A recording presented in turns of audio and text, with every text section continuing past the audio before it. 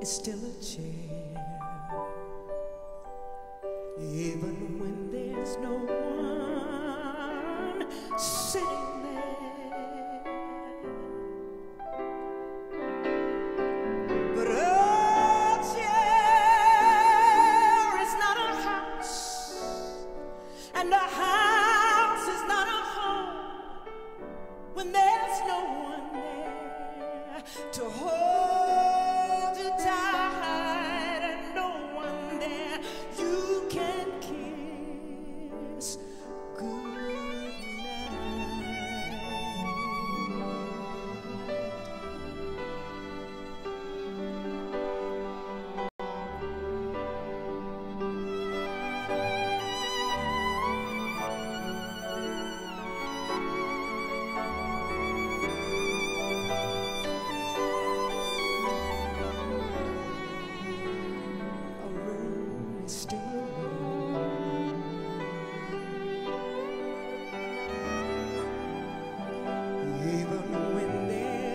be